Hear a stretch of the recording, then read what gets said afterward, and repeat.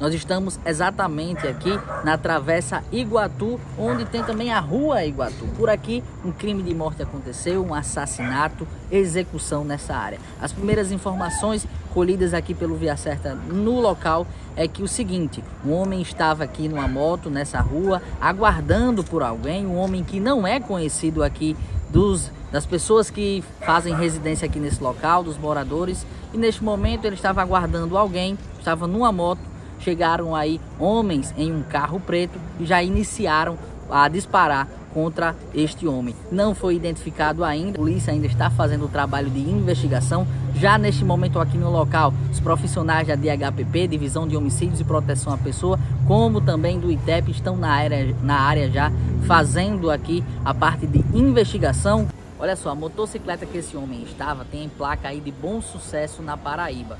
Os militares conseguiram puxar a placa, não falaram aqui o nome porque pode ser que não seja aí a identificação deste homem.